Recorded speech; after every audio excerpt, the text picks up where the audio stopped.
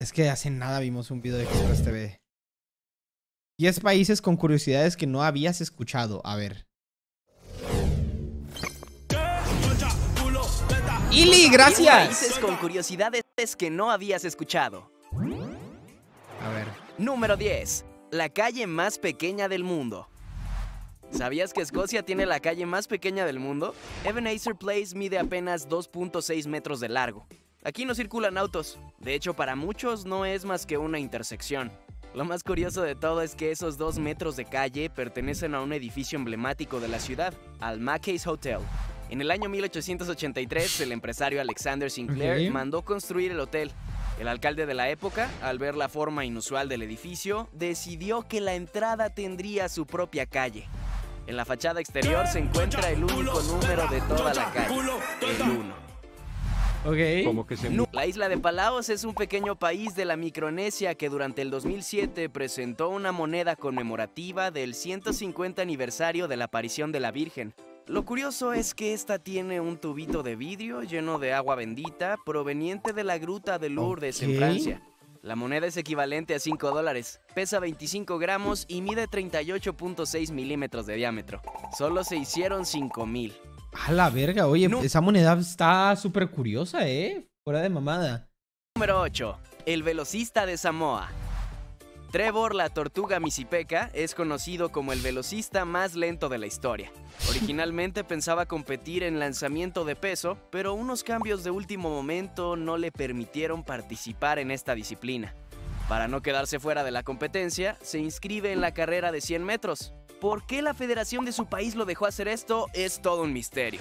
Ya que con sus 133 kilogramos de peso, Trevor no tenía ni tiene el físico para ser un velocista. Al llegar el día de la competencia, esto fue lo que ocurrió. No fue sorpresa que llegara en último lugar, registrando un tiempo de 14.28, más de 4 segundos detrás del ganador. Número Oye, 7. Juan, mate En Gambia votan con canicas. órganos. ¿Tienes algún problema? ¿Quieres su corazón? No, gracias, Marco. Gracias por esos 10 meses, hermanito. Y Daniel, gracias por esos 9 meses. ¿No te gustaría pasarte el Outlast? No, ni de pedo. ni de pedo. ¿No te gustaría pasarte el Outlast? Los ciudadanos de este país eligen a sus gobernantes mediante canicas. Gracias. Una gran parte de los habitantes de este país no sabe leer ni escribir, por lo que para ahorrarse problemas y dinero, el Estado le da a cada uno de los ciudadanos una canica, la cual depositan en un contenedor con el partido o candidato de su elección. De esta forma, los votos son más fáciles de contar y las personas que no saben leer pueden votar de manera intuitiva. Está bien. Número 6. El restaurante más antiguo del mundo. En el año 803, en la abadía de St. Peter en Salzburgo, Austria, se abrió una pequeña casa de comidas para dar servicio a los visitantes. Era discreta y modesta. Hoy, más de 1200 años después, el ¿Sigue restaurante? St. Peter's Fifth Culinarium sigue No en pie mames. y aunque muy cambiado, continúa en funcionamiento y tiene el honor de ser el más antiguo de todo el mundo. A la verga. Número 5. No hay señales de alto en París. ¿Puedes creer que a lo largo de sus más de 6.000 calles no hay ni una señal de alto en este país? Sí existen señales de precaución en los cruces, pero ninguna que señale el alto total. ¿Por? Raro, ¿no lo crees? Los automóviles no se detienen por completo en ninguna intersección que no tenga semáforos, ya que es bien sabido que el que circula por la derecha siempre tiene la preferencia. Aunque Tex, esto no siempre fue así. Según un informe de la policía de París, la ciudad tenía una señal de alto en un punto. Sí, solo una. Un octágono rojo que decía stop y se encontraba a la salida de una construcción.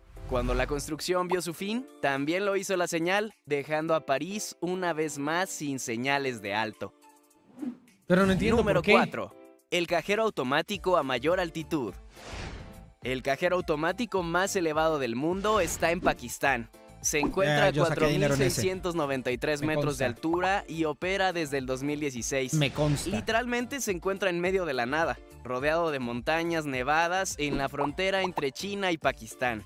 ¿Para qué lo quieren ahí? No tengo idea, tal vez solo para ser propietarios del récord Guinness del mundo. Número 3. En Dinamarca, si no estás casado a tus 25 años, te bañan con canela el día de tu cumpleaños. What the En el siglo XVIII la mayoría de la gente ya estaba casada, tenía muchos hijos y era considerada prácticamente un anciano al cumplir esta edad. Si bien los tiempos han cambiado mucho, hoy en día no muchas personas contraen Serratrol, un saludito. Vaya, muchos ya ni lo hacen. Otros pareja tienen. Esta extraña ustedes. condición es una Hola, referencia Juan, a los ¿me podrías mandar comerciantes de saludo especias de aquel entonces, quienes debían permanecer solteros debido a sus constantes viajes de negocios. Por muy loco que parezca, esta tradición aún se practica en este país. Número 2. Un país que vive del Internet. ¿Cómo? El diminuto país de Tuvalu, uno de los cuatro países que forman la Polinesia, encontró la forma perfecta ¿Qué? de hacer dinero aparte del turismo. Los Uno de cada 12 polinesios. dólares que ingresan a sus arcas públicas provienen directamente de tú. Internet. Más específicamente del dominio geográfico que la Unión Internacional de Telecomunicaciones le concedió en 1996, los .tv.